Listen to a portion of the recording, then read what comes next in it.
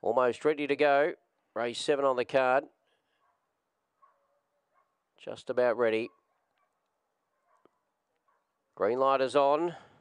Race number seven, 410 metres. Set. Racing. Benchester got out pretty well from box six, but showing pace the inside was Sneaky Miss. Going up on the inside, Benchester, and around the outer was Lectra Gell, and whipping right around them was Lectra Heckler. Then for the back came Xavier Bale in behind those Abby's Comet round the corner. Benchester the inside, Lectra Gell is trying hard. Benchester a half a length in front of Lectra Gell, and Benchester wins again.